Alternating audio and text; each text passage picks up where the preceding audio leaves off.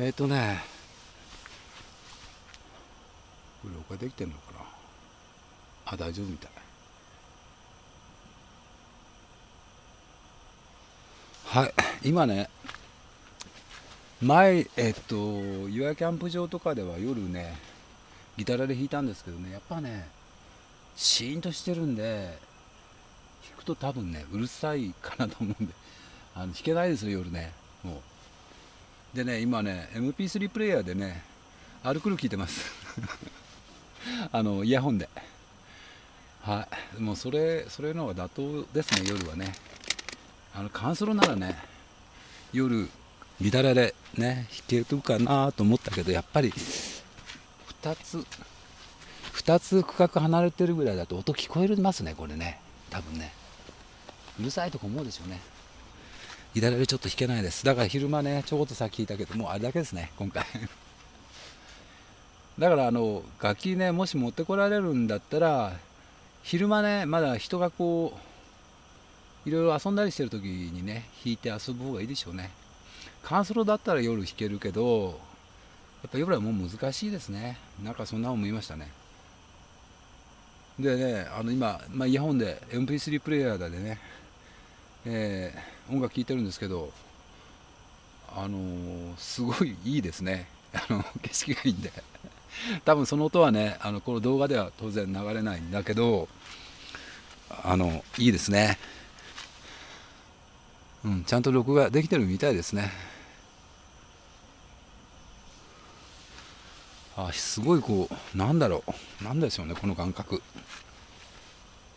結局ねあのー、岩屋キャンプ場とか今川公園キャンプ場はね夜間にやっぱりあのそのキャンプ場完全閉鎖して外部から人が入ってくるってことがあのであのしてなかったんでもしかしたら夜変な人入ってきたら嫌だなとかね岩屋キャンプ場でもねゲートが閉まるってことないんですよねあれ。夜間でも人入ってこれるんですよ、ね、だからもう今川公園にだってまああのほぼ半ね無料のキャンプ場なんで夜中にね変な人入ってきちゃったりするんでちょっとその辺はねドキドキして夜間ね過ごすっていうのもあるのかなと思うんだけどやっぱりあの高規格のねオートキャンプ場はそこがいいですね。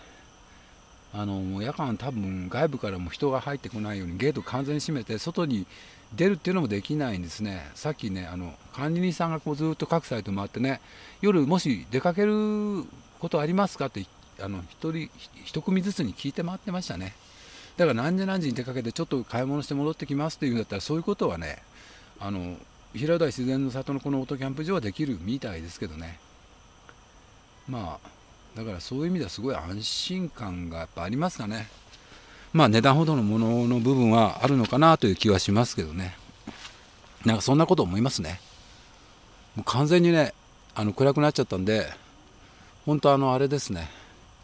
自分のサイトのね明かり以外はあのそこ水字灯が なぜかいつも水筒は少し近くにあるんだけど、えー、まあねちょっとねカメラを使いましょうか。こう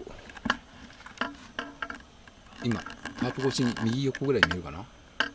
水筒が見えると思うんですけどね。ここからね30メートルぐらい20メートルかな。あの水筒がね先にあります。そこは多分電気これ夜間もつけてるのかな？分かんないんですけどね。えーかなという気はするんですけどね。はいいつも通りテーブルはねあのあれですね。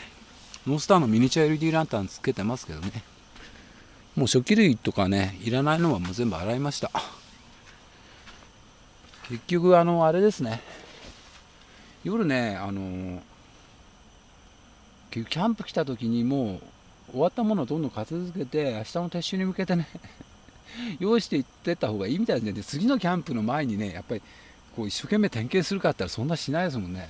大体揃ってるよねみたいな感じで食器も洗ったよねみたいな感じでそのまま次のキャンプ行っちゃうこと自分の場合多いんでね。えー、あの終わったものはもうどんどん片付けながら次のキャンプに向けてねどっかで用意していく段取りっていうんですかね。そんな風にやる方がいいのかなとかね思ったりしてます。はい8時くらいです今ね。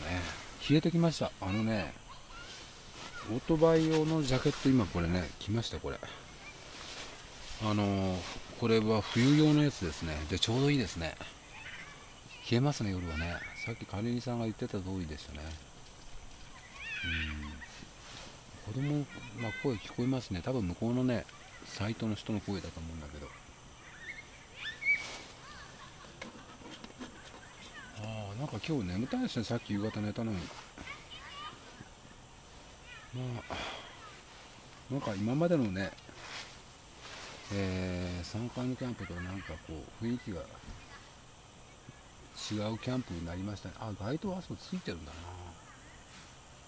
完全にねあの夜に入ると街灯が1個っていうかこのサイト内にねつきましたね。やっぱり。